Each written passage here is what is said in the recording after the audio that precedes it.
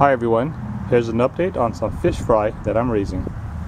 I have 13 day old blue gourami fry and I don't know how many are in here but however many there are they appear to be doing well. They're a lot larger than when they first became free swimming and I've been feeding them a commercially available dry powdered food made for fry and also infusoria that I collect from my water lily tubs.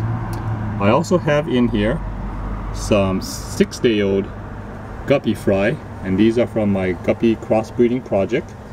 These are now 15 16th sunset Micariff and 1 16th neon blue.